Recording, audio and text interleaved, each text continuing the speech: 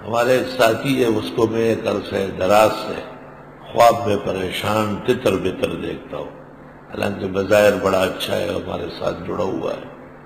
सिर्फ़ आज मैंने अभी सूरत यूसुफ से पहले उनको ख्वाब में अच्छा देखा है। अल्लाह अकबर।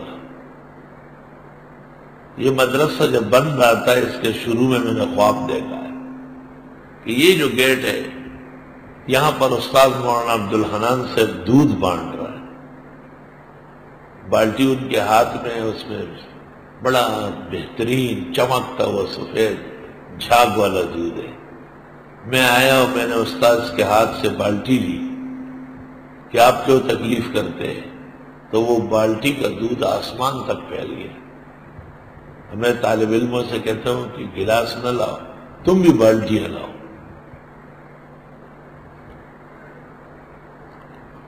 दूध इलम है और मौलाना का फैज है और अल्लाह ने यहाँ बढ़ा दिया है। एक दिन मैं बीमार था और बुखार था। एक डॉक्टर के पास गया, उसने गलत सी पेशन हुई।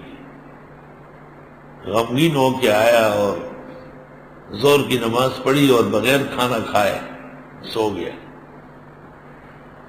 मैंने ख्वाब देखा कि कोई कहता है कि हकीम उम्मत मौलाना अशरफ अली शेखुल इस्लाम मौलाना हुसैन अहमद मदनी, मुफ्ती आज़म हिंद मौलाना मुफ्ती के किफायतुल्ला इमाम असर मौलाना अनवर शाह, आपकी इयादत के लिए आ रहा है। मैंने अपने कमरे में जल्दी जल्दी चादरें बिछाई। इतने में की उम्मत दाखिल हुए, मौलाना हुसैन अहमद दाखिल हुए, मुफ्ती किफायतुल्ला दाखिल हुए, और अखीर में मौलाना अनवर शाह दाखिल हुए। और शाह साहब के दाखिल होने के बाद कमरा ऐसा सफ़ेद हो गया जैसे लाइट पड़ रही हो। मौलाना अनवर शाह ने कहा, करीब से गुजर रहा था। पता चला, जनाब की तबीयत नासाज है। मैंने इन बुज़ुर्गों से कहा कि यादत करते चले। शाह साहब लेके आए। तो पता चला कि इसमें इल्म हदीस का दौर दौरा होगा। अनवर शाह मुहदस बढ़े और फिके के बड़ी ताबानियत होगी क्योंकि वो फ़की इतलाक थे। और हमत आमोजी रहेगी अकीबुल उम्मत इबादत का भी दौरान होगा जिहाद और जज्बे का शेखुल इस्लाम, और फतवे का भी मादन होगा।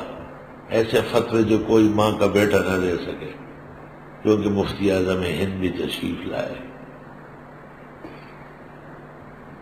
और इस ख्वाब में बशारत है कि बुज़ुर्गों के तरीके पर हम हैं। लोग तो बुज़ुर्गों को गोल मोल करके ब्लैकिंग कर रहा है। अल्हम्दुलिल्लाह।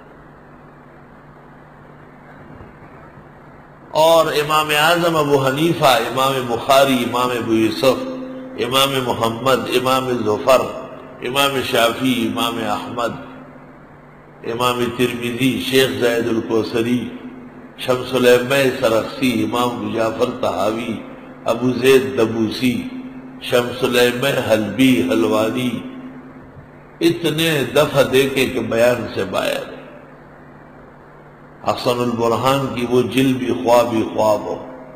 उसके ऊपर लिखा जाए ख्वाबों की कायनात।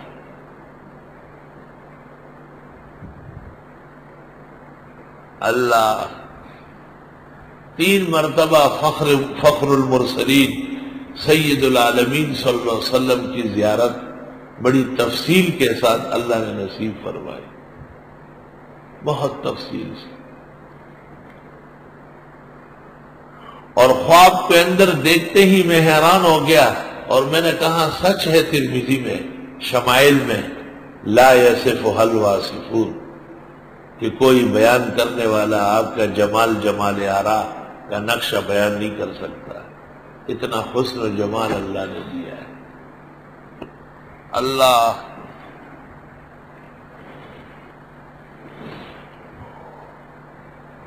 ख्वाब, या तो हमदर्द दोस्त को बताया हदीस शरीफ में।